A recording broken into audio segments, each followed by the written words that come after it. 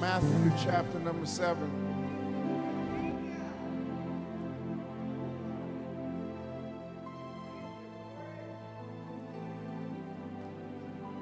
I want, I want to read verse 21 through 27.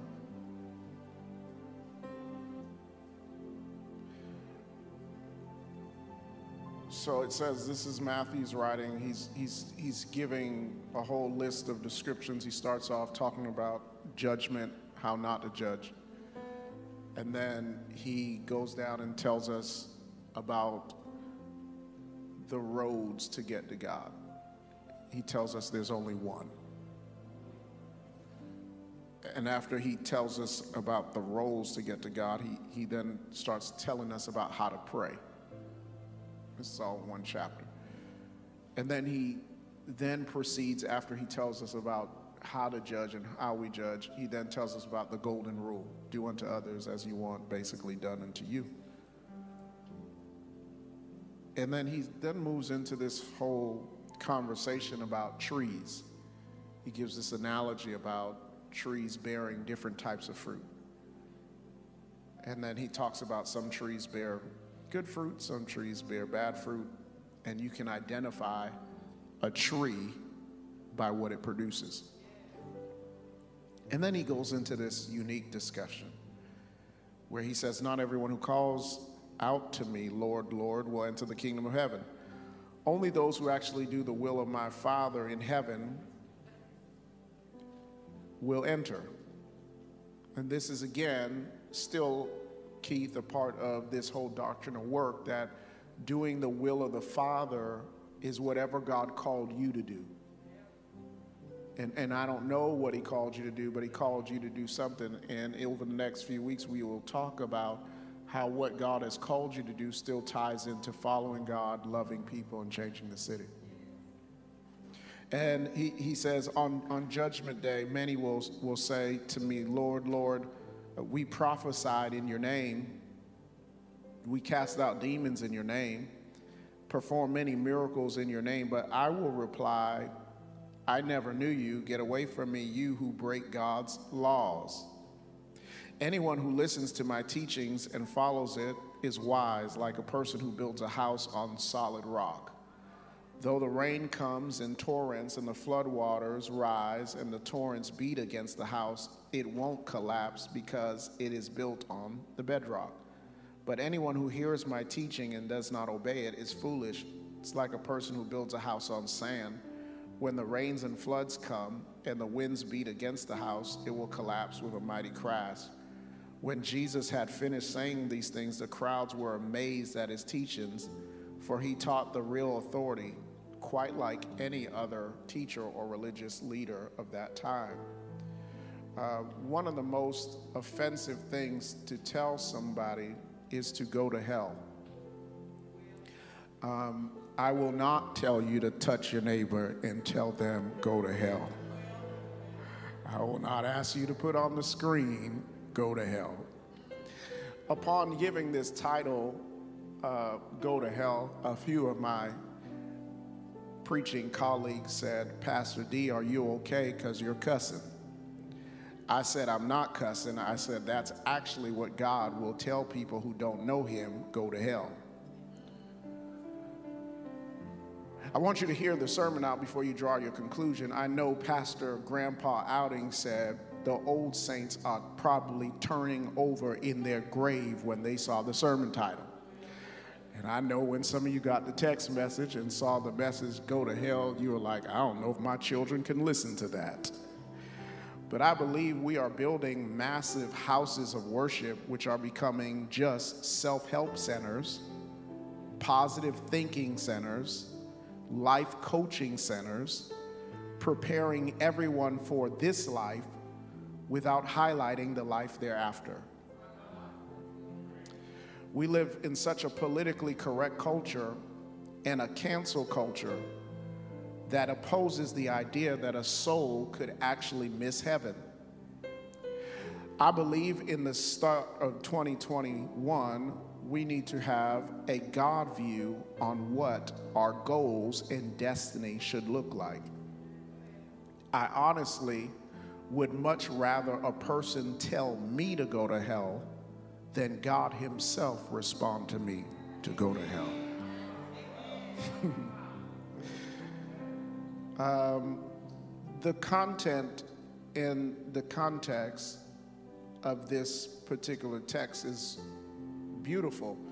When I was my son DJ's age, 12, I was a youth pastor or whatever you want to call it. And this was actually my only sermon I usually preached. It was this sermon that I would utilize.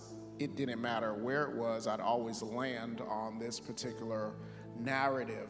And if I was in those times, um, you can put my original um, slide that I sent that you created for me, uh, Kenise. Um, I, I um, in my in my younger days of preaching, I would have them turn all the lights off, and I would just preach to you in the dark. But because of online streaming and people needing to be able to see, y'all like my thing back there? That guy's kind of cool, right? Uh, so so I want to kind of highlight this because. Um, a lot of what we're building won't stand the fire.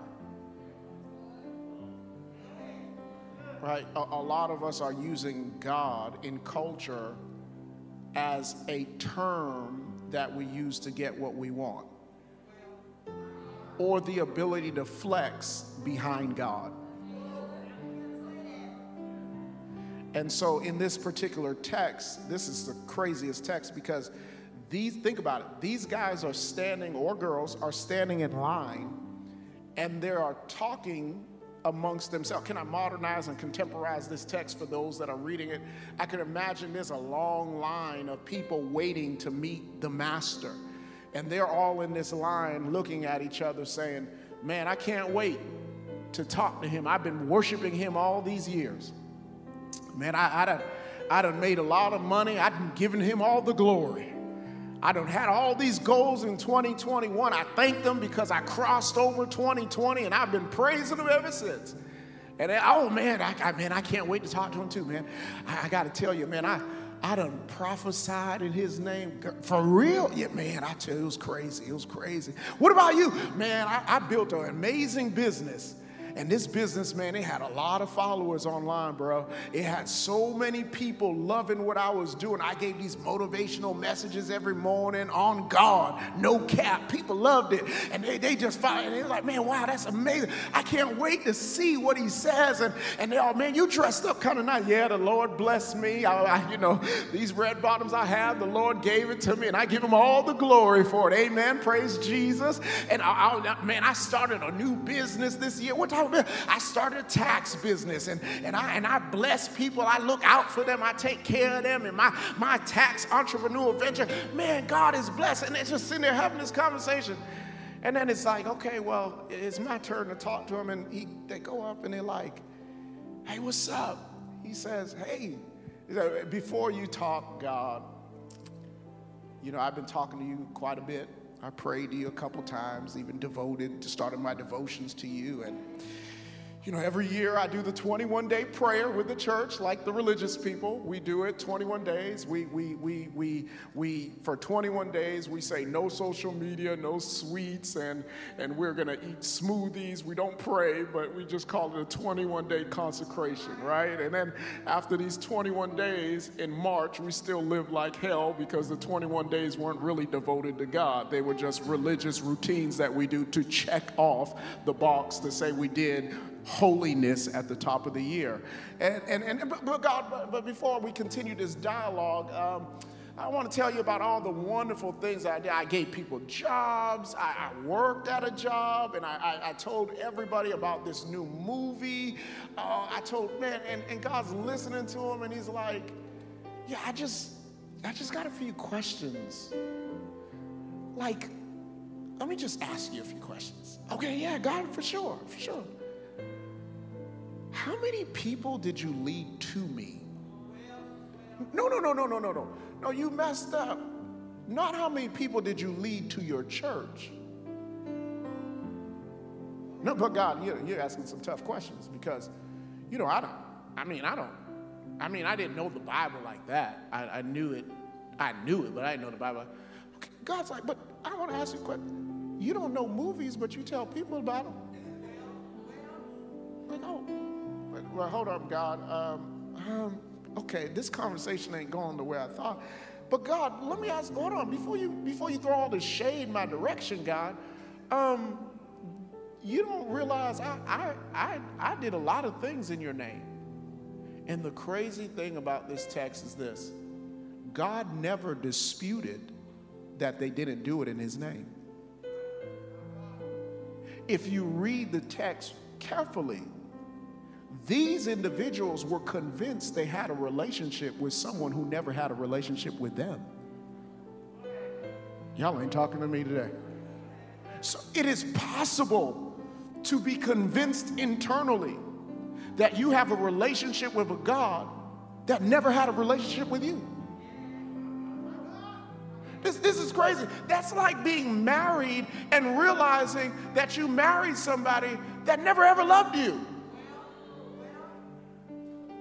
And you find out in this conversation that we never really had a relationship. You always thought we were in it together, but I never was in it. And I wonder how many of us in our culture are worshiping God and God is on his Instagram because he doesn't know us. God doesn't have Instagram, but you get the point, right? No, because think about it. When we grew up, we grew up hearing messages that adjusted our soul. So now we're all into I need to get my mental health right. I need to get this energy right that's around me. I need to make sure that I, I have enough downtime for my but God's like, yeah, but where where your soul at? Because you I don't really know you. Like, I, I, don't want you, and, and, and, and, it doesn't matter how much church we do. We used to have church where there was revival, and revival was all about they just preaching to you about going to hell. But now revival is all about you becoming more of what God wants you to become at the expense of your relationship with Him. God is more concerned, God would rather you lose in this life and win in His kingdom then you win in this life and lose Him. I am convinced that sometimes God does not answer our prayers, not because God is unjust, but because God knows we don't have the right foundation, that if we get what we're asking Him for, we will lose Him in the process of getting what we're asking for.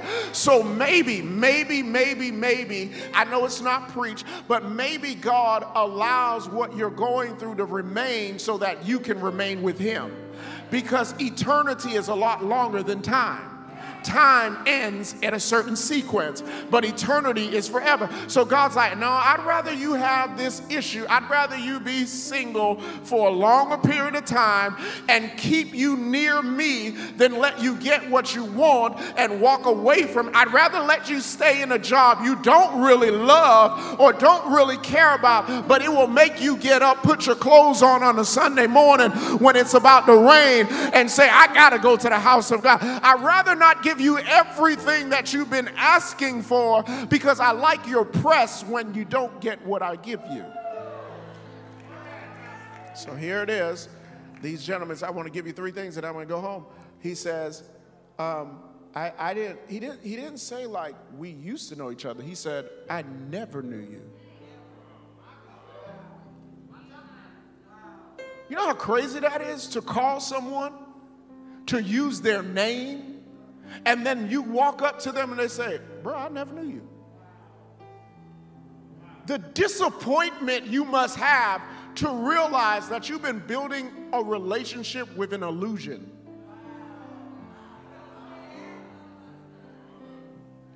That, that you've been building this relationship with an illusion. And God's like, no, I, I, I, didn't, I didn't know you. Like, I, I tried to know you. But when I wanted to get intimate with you, you wanted no involvement. So they had involvement with no intimacy.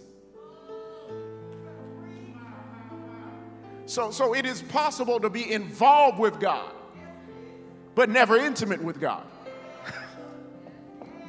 It is possible to be in God's house, but never be with God. Because there's a lot of people who go to God's house, but they never worship in God's house. They get involved, but they don't get intimate. They see God moving, but that ain't my song. They see God moving, but that ain't my type of, that ain't my style. That, and God's like, no, I wanted to get intimate with you, but every time I wanted to get intimate with you, you didn't want to get involved with me. So I just allowed you to settle for the relationship you thought you had. Number two, you had confession with no conversion. You had confession with no conversion. All your goals were about you. When you read when you read at the core of everything you're trying to get to, it has nothing to do with me. It has everything to do with you. You use my name to make it sound, to, you use my name to sanitize your holiness. But it has nothing to do with me. You had confession without conversion. Number three, let me stop there. Confession without conversion. You were devoted to using my name as long as it got you where you needed to go. But number three, because y'all getting real quiet, it says this You had demonstration without devotion. So here's the crazy thing. I, this is the craziest part. I would show up because you called me. But I didn't show up because of you. I showed up be, in spite of you. The problem was you confused me showing up with my approval of you. Okay, let me, let me, let me break it down. You could have had a winning season and God not be part of your wins. But you misinterpreted the wins as God being with you. Y'all understand what I'm saying? So, so you thought because you hit the rock and water came out, you thought that I was with you. In actuality, I really wasn't with you. I used you in spite of you. And there are a lot of us in this room. If we are not careful, we will build a golden calf and call it God. and try to sanitize it by putting God's name on it.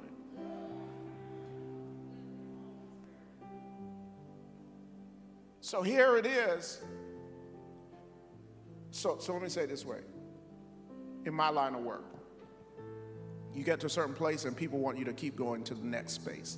Because this, this it's a word everybody uses. We gotta go to the next level. We gotta go to the next level.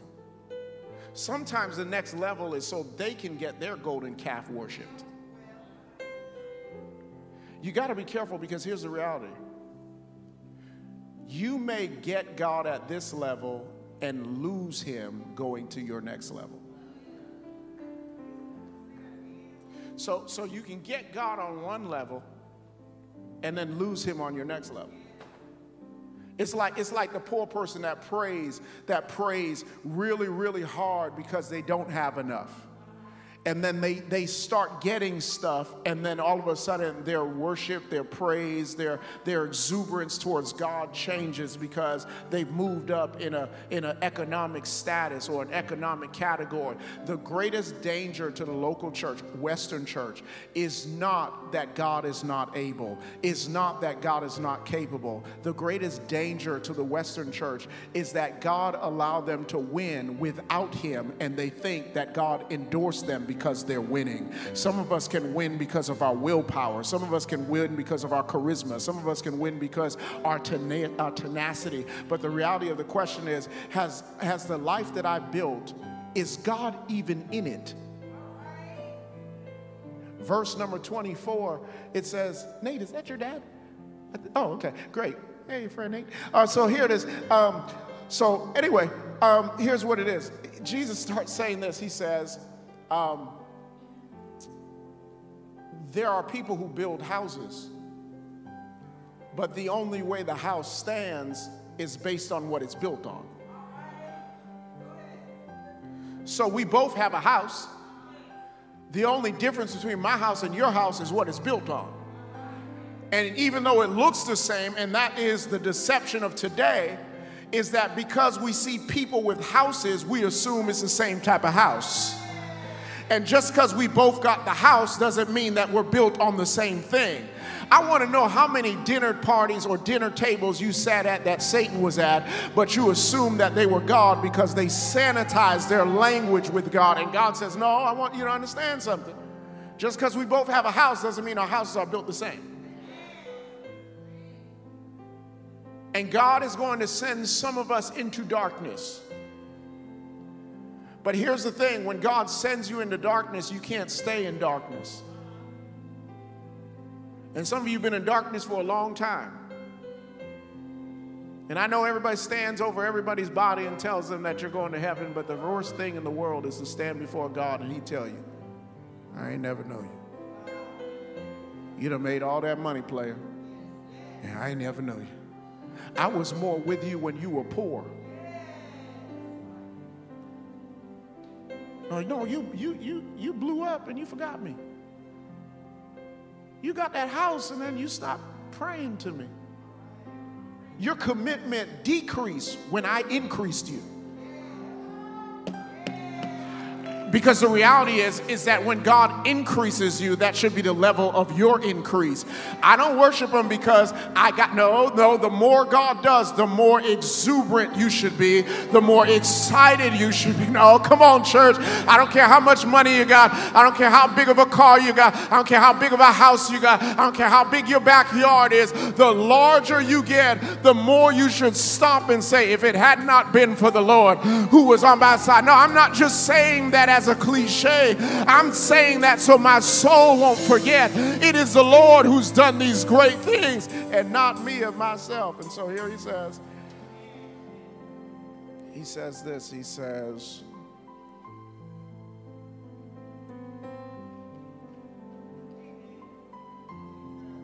when they built their houses, he says, what, what tests the, the, the strength of what you build is the storm rains. This is a, this is a principle that's very true. It says you can test the quality of a relationship by the winds that come and if it stands. Because if it's built on the right foundation, it will win, it may waver, it may bend, it may break, but it will recover because of the foundation. And a lot of you have built relationships on clay. That's why every year you got to start cutting people off because you got all these clay relationships. You don't have any rock relationships. And so here it is. Here it is what he says. He says, Well, the rains came and they were torrential rains, they weren't ordinary rains. They put the building to test. And when the rivers rose, the rivers are to be understood the mountain torrents or winter torrents, which arises because of the heavy rain, the house couldn't stand because it didn't have the right foundation. And I want to admonish all of us this year, pre PD, to people like whatever you're building on, make sure it's on the rock and not on clay. All these go, man, I, I want to I want to get this, I want to get that. And don't lose your pursuit to do whatever God has called you to do. But in the process of your pursuit, don't lose Him because it's a hard thing to stand in eternity and look God in the face. And God say, listen, I never knew you. Like the time that I cried in front of you, he's like, yeah, you did, but it wasn't to me. It was to your God that you created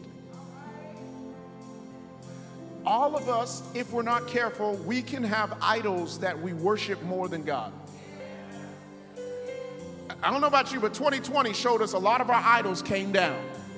A lot of things that we had put up and we don't even recognize because the children in the Old Testament, they didn't realize they were building these idols. They just all of a sudden had these idols, and God was like, Yo, I'm a jealous God. I don't like what you built because what you built is taking the place of me and you. And today we're not building diamond earrings, we're not building golden calves, we're building businesses, we're building bags, we're building hobbies, we're building social media influences. These are our golden calves. And if you're not careful,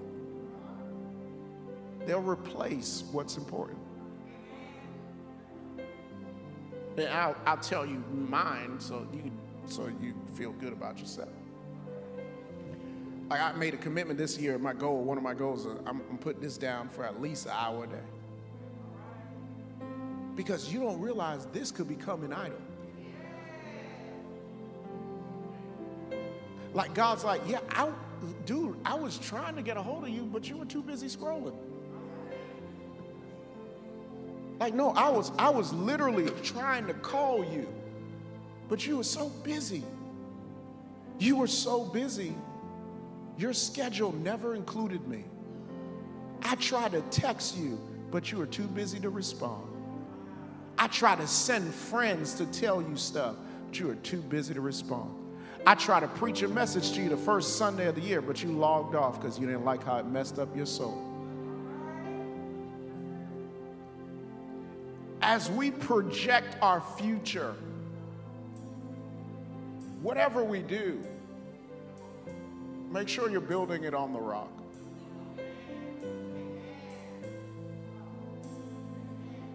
Whatever career you're building, don't build it on sand. If you're in the church house, don't use God's name to build your personal career. Everybody's on, I got to go to the next level. And most of the levels don't include God, they include people. If you suck up to people as much as you would suck up to God, you go really far in life. You on everybody's page, tagging them on every single thing you could. God's like, why are you sucking up to them and they didn't wake you up this morning? Why are you trying to market? To, if you would market to me, I would blow you up. If you would market to me, I would expose you to places you've never seen before. And God's like, it is possible to have involvement without intimacy. It is possible to have demonstration without devotion. And it is possible to have confession without conversion. I normally close with this at a funeral, so if you heard me say it at a funeral, just ignore it. I'll probably say it at your funeral.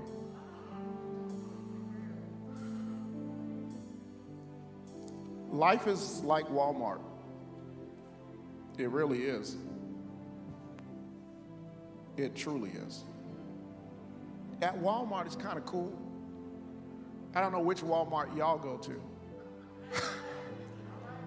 but one time, listen, okay, let me just confess, because confession is good for the soul. Somebody asked me, have I ever went to the club before? My answer was no. But then I realized I lied. I have been to the club before. I went to the Walmart on Kirkman.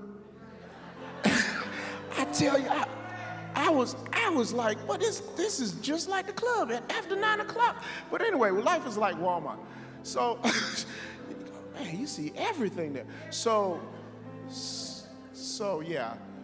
So you can go to Walmart and um, man, you could actually take a carriage. You probably take two no one's really going to say anything to you. The old person at the front really ain't going to judge you at, at first. You can go to Walmart and go buy some groceries. You go to the right, that's the grocery section. There's a frozen food section. You got pizza there. Grab some pizza. Then there's the ice cream section. If you've never had Tres Leches ice cream, you're missing out on life. It's, it's amazing. And then you, you can grab that. There's also cheesecake ice cream. It's really, really good. You should try that too. They even have ice cream that's in alcohol form, like spirits. I don't do that. Gene does all the time. But so they have they have those ice creams, and you can grab those. And and and, and if once you leave the ice cream, then you can go get cereal. Because you can't end your night without having some good cereal.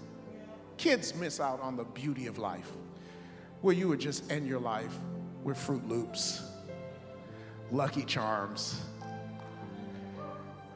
Apple Jacks. Come on, church. Frosted Flakes. God was, God was in all those. Froot Loops, Captain Jacks. Eh, and then once you leave the cereal aisle, you may go to the vegetable aisle and get some greens. And then for us who want to be real healthy, you know, you get those health juices. Yeah, you can pick up all those natural juices. And some of us need to go get water.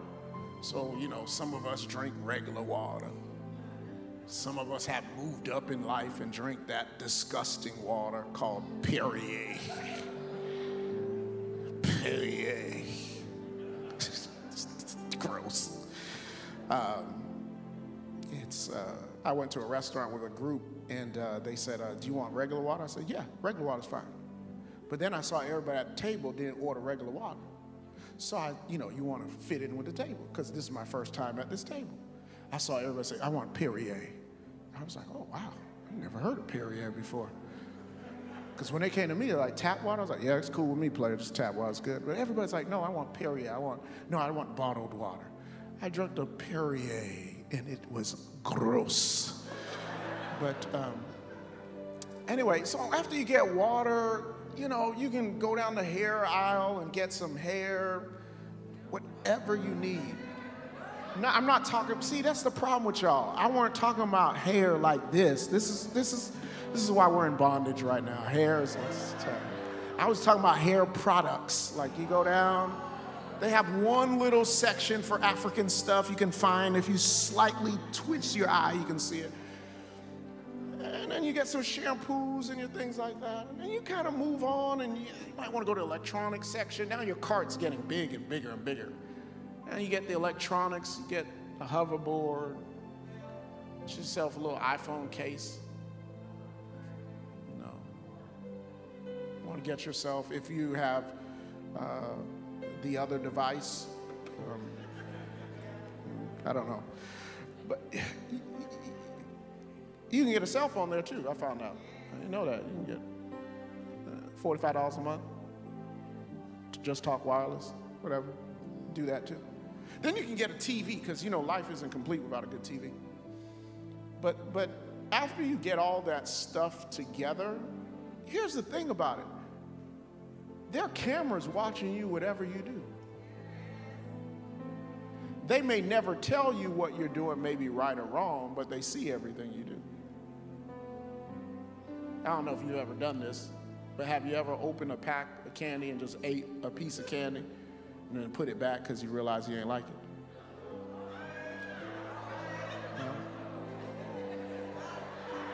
All right, so anyway, this was when I was a kid. Um, so you can't do that stuff now. You'll before the state attorney, and all of a sudden you see her stealing a piece of candy. Listen, I prayed for you, so you need to give me a lighter sentence, okay? Um, so you, once you get to the once you get to the register, once they start scanning all that stuff, like you got to pay for it. Like it was cool. Whatever you did, like he was cool with it. Nobody stopped you. Nobody told you, like, this is a little bit much. You may have some people that looked at you a little different when they walked by. But before you get to the, before you leave the store, you got to pay for all that stuff you did. The question that has to be posed is do you have enough to pay for all the transactions that you've acquired? And I know that if we stand before God, the worst thing in the world is to stand before Him and say, I don't have enough because I forgot my wallet. The person behind you ain't going to pay for your stuff. You got to pay for it. The preacher ain't paying for it. The deacons ain't paying for it. What they said ain't paying for it. The reason why you don't have the money, he will tell you in the worst words you can ever hear in your life go to hell. Now, this is quite dramatic, but it's true. I don't like roller coasters, but I try to get my kids to go on them. There's a thing called on I-Drive. It, my wife was doing a sibling dinner, and so I had the kids. So I was trying to convince DJ to go on this roller coaster on I-Drive. It's it like I forgot what it's called. It's called a spring. What is it called? The slingshot. It, it was twenty five dollars. As a good father, I went there to pay for him to go because I wanted to have him experience it for me. So he could share with me how it was. So I took him, I parked, I said, Son, you want to do it? He said, No. I said, You do want to do it. You just don't know you don't want to do it. So he says, No. So I try to get his sister. I said, You know, you two should do it together because this would be great. It was just personal joy to see them just get shot up in the air and see how they respond. Because I don't do roller coasters. And I'll tell you why I don't do it, and I'm done. As a boy, I came to Disney. My pastor at the time was a pastor in Boston. The wife went to Disney. She was older, Pastor David P. And um, we were getting on, and I love roller coasters as a kid. And DJ, kind of like me, he likes, I don't know what happened that day, but he just didn't want to do it. But we're going to try again because that wasn't the will of God. So, anyway, I, I was in line for Space Mountain. Kids, ask your parents to take you to Disney. We were in line for Space Mountain. And the woman of God prayed, no lie, promise. The woman of God prayed. She said, Lord, if I'm not to get on this ride, give me a sign. I was the sign. I ended up throwing up on the spot, getting a fever out of nowhere, and they had to rush and take me home. I was sick as a dog. I'll never forget how sick I was going on the roller coaster. And I came home, my mom was like, I don't know what happened. What, did you eat something? I said, No, I was fine. And then uh, and the pastor's wife said, I know what happened.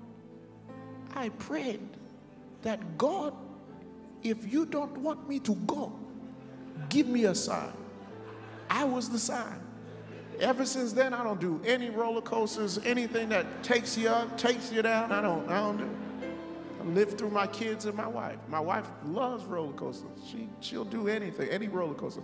Now she starts saying because she had children, she can't go on roller coasters. But I want to see her do the slingshot. I, I think that would be good. Wouldn't y'all love to see her do the slingshot? I'd love to see Lady Karen do the slingshot.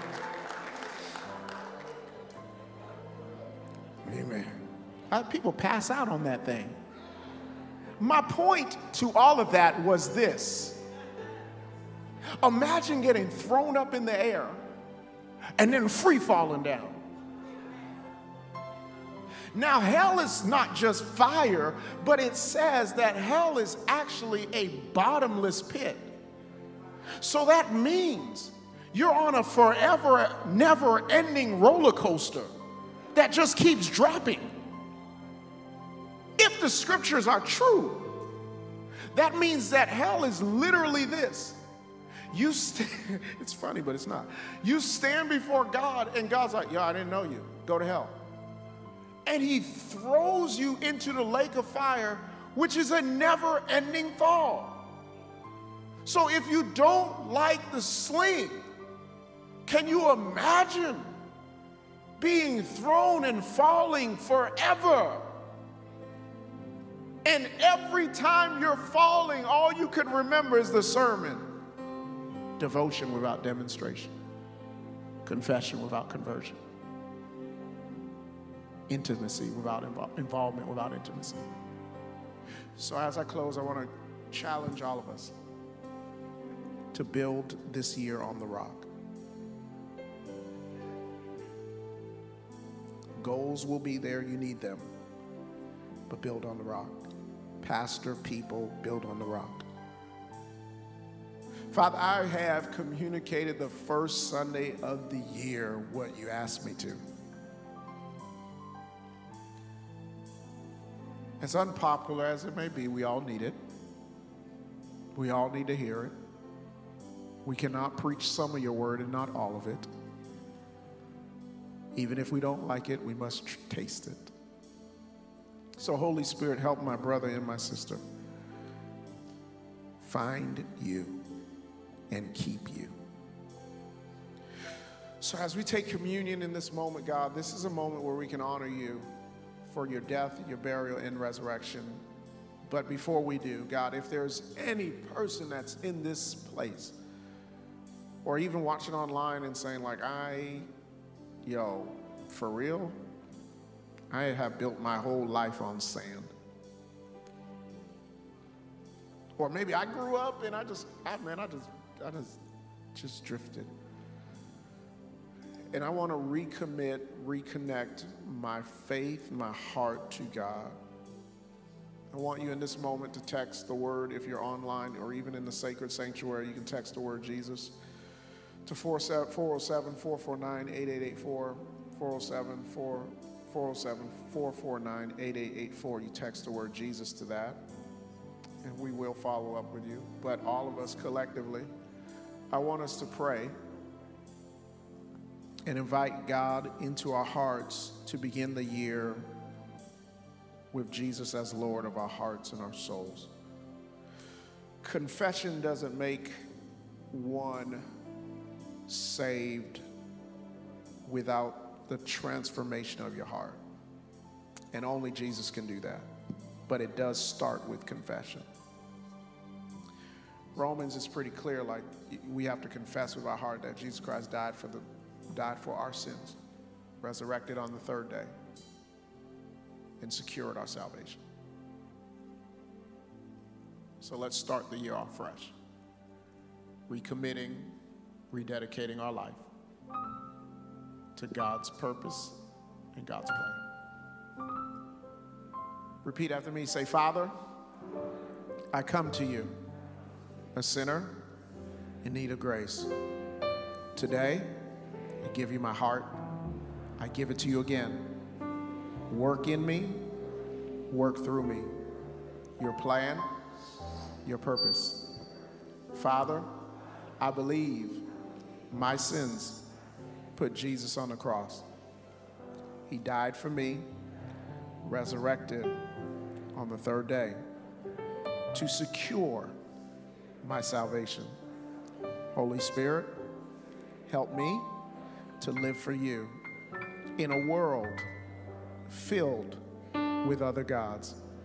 Help me to surrender my life to you, that you will be pleased and tell me, Well done.